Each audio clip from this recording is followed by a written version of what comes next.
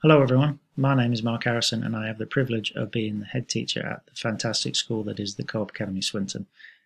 You've got a very big decision to make, folks. You've got the most important thing in your life your child and their step into high school. And those teenage years are so important to get right. So, the question I asked myself when I was taking my Matthew, who's in this photo, through this conversation was what does the school stand for?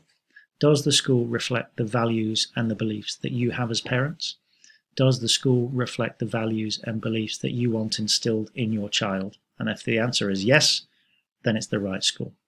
So, what do we represent and what are our values and beliefs? We very much think that we are the next step in your child's education, but an absolutely key one. They've had some fantastic building blocks put in place by primary school, and they will go on into employment and education afterwards. But if you don't get those teenage years right, then it can take people a long time to turn things around.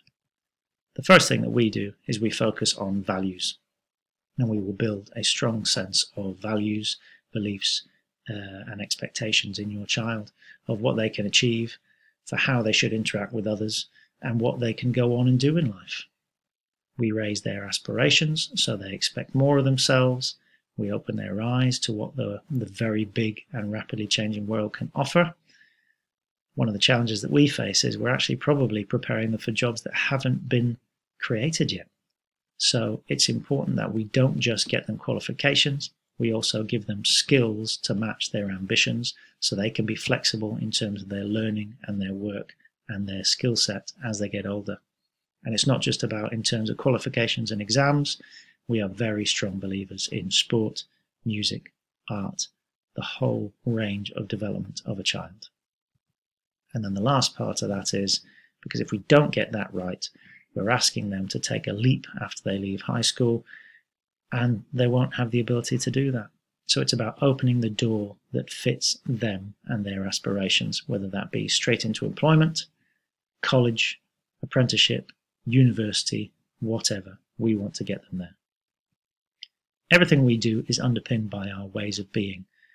And I think if I said to you in five years' time, when your child leaves this school, they're going to be able to do what matters most. They're going to be themselves. They're going to show other people that they care and they know that success only comes by working together, then I know we will have been successful.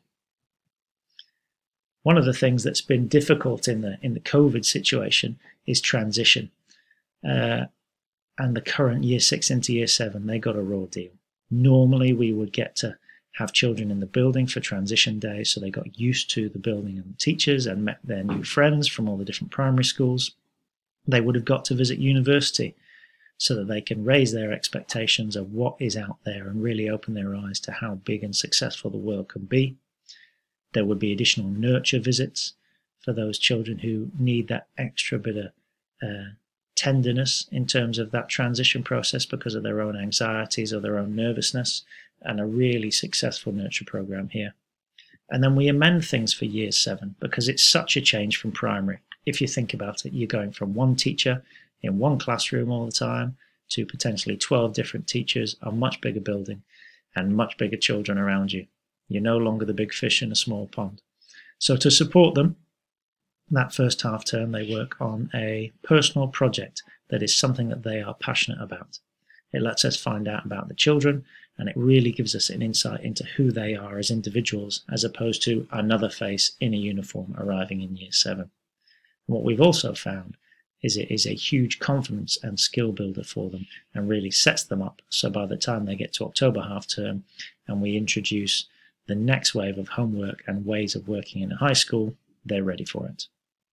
All of these things are planned for the current year six, your children, and the only amendments will have to be depending on the world position and what's going on with COVID in the future.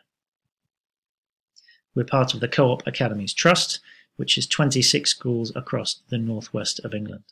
Now, please be confident that the staff who are based here stay here and work here, but what the Co op Academies Trust allows us to do is tap into the expertise across 27 schools and seek support where we need it, and vice versa. We help in the development of others. So there's real excellence across the trust that is making a difference for the children and the staff in this building day in, day out. The co op is really invested in this. And there's a very broad work experience program in really high quality positions, including at Angel Square in Manchester. Student leadership is a regular highlight of every year and work across the trust. And the actual co op business itself has committed to a thousand paid apprenticeships for children who come through Co-op Academy Trust schools. A brilliant opportunity that can actually take children all the way through to degree level qualifications while also earning a salary. It's helped us raise standards across the school and is a real positive. The co-op has also supported us financially in terms of developments around the building and over the summer, for example, our new dance studio and refurbishment of a, a large amount of the building has helped it look absolutely brilliant. We don't just work with the co-op though, and we seek out any partnership that we think is to the benefit of our children. And there's just a few of them listed for you here, whether that's Manchester Metropolitan University, a range of colleges across Greater Manchester so that we can access whatever we need for whatever child a child wants to move on to in their life. We are the only school in Salford that is a Swire Chinese Language Foundation school, offering Chinese as a subject from year seven. We highlight the fact that we work with EMI and BBC here to show you the passion we also have for performing arts, music, dance, and drama. And then for the sports fans, we work with Swinton Lions and also Manchester United Foundation, which I know will be contentious for a few of you out there. But they provide us with a member of staff and are a brilliant support. And it isn't about football, it's about children, student leadership, and individual development and support. Back in 2019, we uh, had Ofsted visit, so it's not just me saying we're a good school. And there's a few quotes from the report there, and I'm sure you'll have done your research already, but we have consistently and always been a good school. And that's something that shows the consistency of leadership, of staff, and the quality of education that children have received here for a very long time. And then there's what we need from you the children will always lose out the moment that home and school stop working together. So, what I will ask is if you want this to be the school for your child, that you commit to making sure that they've got outstanding attendance, that they know that they are here to learn and develop as an individual in every sense, and that we expect the highest standards of behavior. We are also not very patient with children who think it's okay and get in the way of other children learning. So I need your support at home that if you commit to sending your child to this school, that you will also commit to delivering those three things from your part of that little circle there, which is attendance, learning, and behavior. And then in terms of next steps, please take time to peruse everything that's on this website, the videos, the links, the information from each head of subject. Phone up school and ask all the questions you need.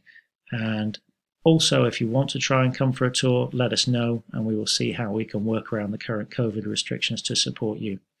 The biggest asset our school has are the children. They are fantastic and I would love the opportunity to show them off. But obviously, we just need to be a bit careful at the moment.